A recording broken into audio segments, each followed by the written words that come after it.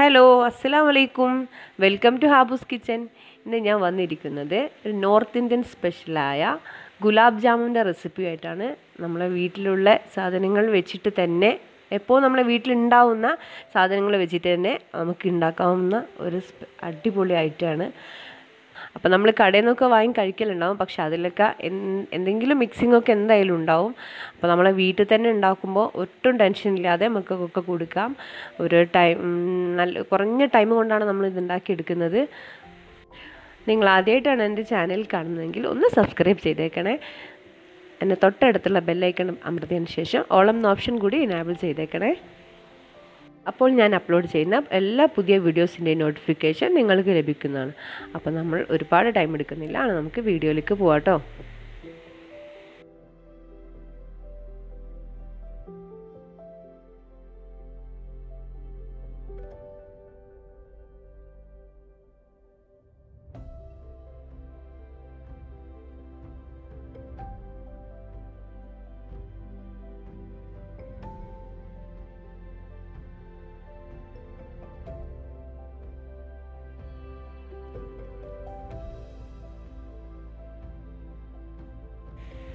അപ്പോൾ ആദ്യം തന്നെ ഒരു നോൺ സ്റ്റിക്ക് പാൻ അടുപ്പിൽ വെച്ചിട്ട് അര ലിറ്റർ പാൽ ഒഴിച്ചു കൊടുക്കുക.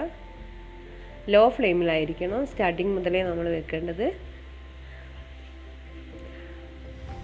നമ്മൾ കുറച്ചധികം ടൈം എടുക്കും കേട്ടോ കുറച്ച് സമയം ഇളക്കി കൊടുക്കാനൊക്കെ ഉണ്ട്. കുറേ സമയം എടുക്കും. ഈ അര ലിറ്റർ പാൽ ശരിക്കും കുറുകി വറ്റി വരുന്ന ഒരു ടൈം നിങ്ങൾ ആലോചിക്കുക.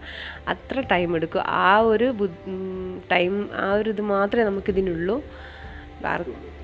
പാലൊന്ന് വറ്റിച്ചെടുക്കാൻ മാത്രം ഒരു പത്ത് പതിനഞ്ച് മിനിറ്റ് എടുത്തിട്ടുണ്ട്. ആ ഒരു ടൈം മാത്രമേ ഉള്ളൂ. ബാക്കിയൊക്കെ പെട്ടെന്ന് പെട്ടെന്ന് നമുക്ക് കഴിയും. അപ്പോൾ ഇതിങ്ങനെ സാവധാനം ഇങ്ങനെ തിള വരുന്നേ ഉള്ളൂ. ലോ ഫ്ലെയിമിലായതുകൊണ്ട് കുറച്ച് ടൈം എടുക്കുമെന്ന് ഞാൻ പറഞ്ഞല്ലോ. അപ്പോൾ പക്ഷേ ഇളക്കി ഇങ്ങനെ കൊടുക്കണം. പിന്നെ അതിന്റെ സൈഡിലൊക്കെ ഇങ്ങനെ തിള വരുമ്പം തന്നെ അതിന്റെ സൈഡിലൊക്കെ ഇങ്ങനെ പാലിന്റെ ഒരു കട്ടിയായ ഭാഗം ഇങ്ങനെ പറ്റി പിടിച്ച് കിടക്കും. അതൊക്കെ ശരിക്കും ഇളക്കി ഇളക്കി പാലിലേക്ക് തന്നെ നമ്മൾ ആക്കി കൊടുക്കണം. സൈഡിലൊക്കെ പാലിന്റെ കട്ടി അങ്ങനെയാണ് ശരിക്കും ആ കട്ടിയായി വരുന്നത്. ഒക്കെ നന്നായിട്ട് ഇള പറ്റി പിടിക്കാത്ത രീതിയിൽ നന്നായിട്ട് ഇളക്കിയിട്ട് ഇളക്കി ഒക്കെ പാലിലേക്ക് തന്നെ ആക്കി കൊടുക്കുക ഓക്കെ?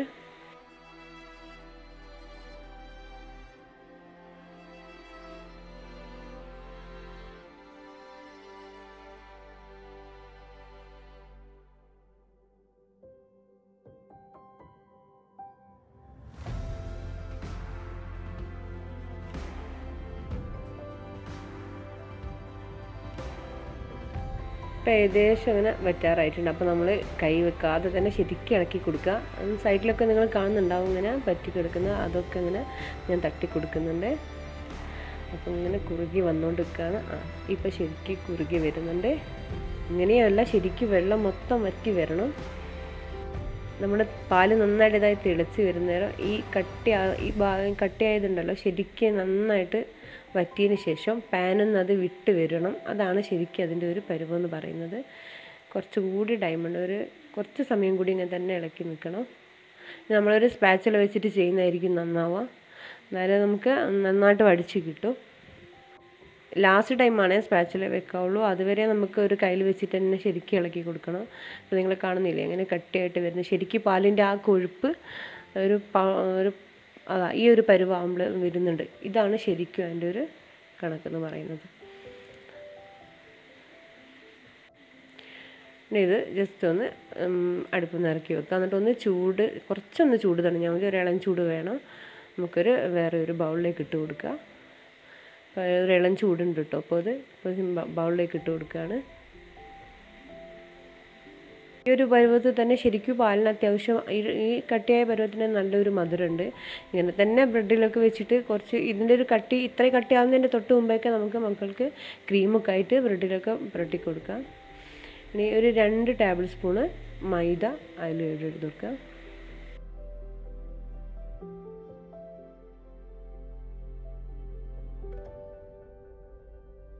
ഞാനിവിടെ ഫോസ്റ്റർ ക്ലാർക്സിന്റെ ബേക്കിംഗ് പൗഡറാണ് ഉപയോഗിക്കുന്നത്.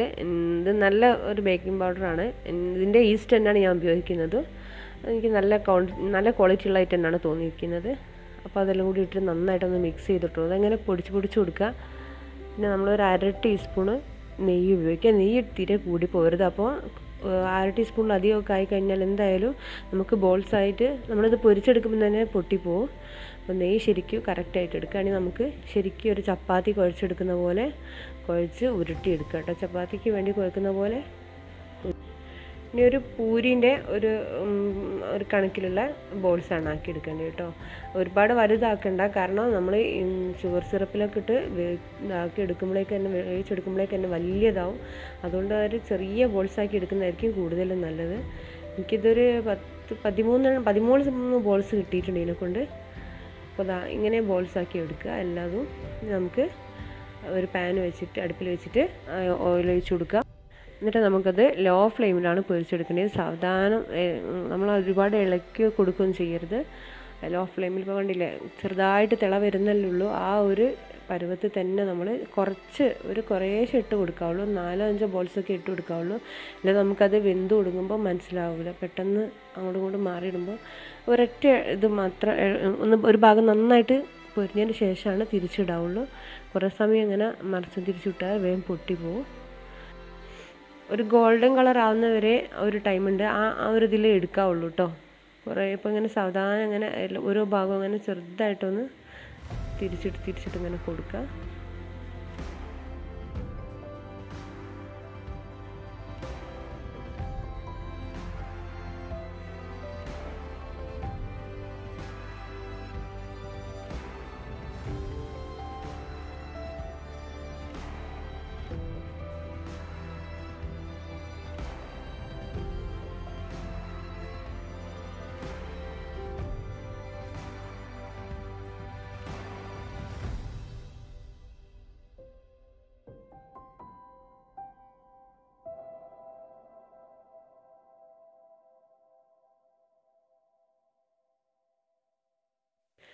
ഇതാണ് അതിന്റെ ഒരു കറക്റ്റ് കളറ്. ഈ ഒരു കളറായി കഴിഞ്ഞാൽ നമുക്ക് കോരിയെടുക്കാം കേട്ടോ.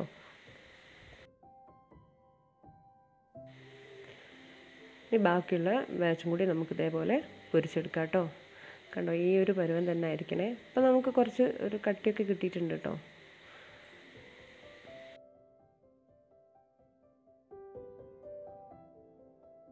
അപ്പോൾ ബാക്കിയെല്ലാം കൂടി പൊരിച്ച് കഴിഞ്ഞിട്ടുണ്ട്. ഇനി നമുക്ക് അടുത്ത സ്റ്റെപ്പായ ഷുഗർ സിറപ്പ് തയ്യാറാക്കാം കേട്ടോ ഒരു ഫ്രൈ പാൻ അടുപ്പിൽ വെച്ചിട്ടുണ്ട്.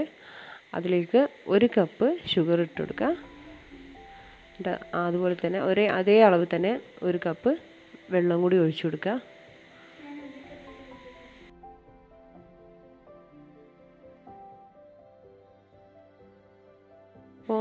ഫസ്റ്റ് തന്നെ നല്ല ഫ്ലെയിമിൽ വെച്ച് കൊടുക്കണം കേട്ടോ. പിന്നെ നമുക്ക് ലോ ഫ്ലെയിം ആയി കൊടുക്കുക ഈ ഇതേപോലെ തിളച്ച് വരുമ്പോഴാണ് നമ്മൾ പൊരിച്ച് വെച്ച ബോൾസ് ഇട്ട് കൊടുക്കേണ്ടത്.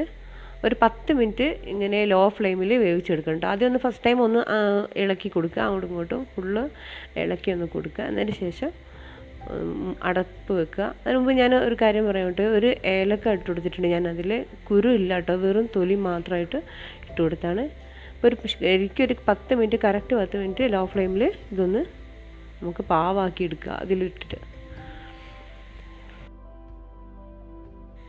അപ്പോൾ നമ്മളെ ഗുലാബ് ജാമുൻ ഇവിടെ റെഡി ആയിട്ടുണ്ട്. ഇനി നമുക്കിതൊരു ഒരു പാത്രത്തിലേക്ക് മാറ്റിയിട്ട് ഒരു ഒന്നര മുതൽ രണ്ട് മണിക്കൂർ വരെ ഫ്രിഡ്ജിൽ വെച്ചിട്ട് ഒന്ന് തണുപ്പിച്ചെടുക്കാം കേട്ടോ.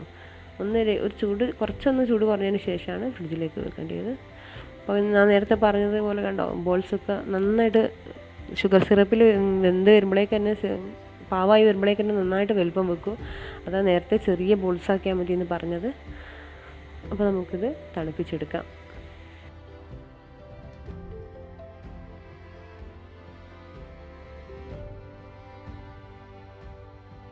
അപ്പോൾ നമ്മൾ അടിപൊളി home made gulab jamun ready ആയിട്ടുണ്ട്. ഞാനിതിൽ ഒരു മിക്സിങ്ങും ചേർത്തിട്ടില്ല. തികച്ച് ഹോം മെയ്ഡായിട്ട് തന്നെയാണ് ഇത് ഉണ്ടാക്കിയിരിക്കുന്നത്. അപ്പോൾ നമ്മൾ കുട്ടികൾക്കൊക്കെ എന്തായാലും നമുക്ക് സന്തോഷത്തോടു കൂടി തന്നെ കൊടുക്കാം. അപ്പോൾ നിങ്ങളിത് എന്തായാലും ഉണ്ടാക്കി നോക്കുക.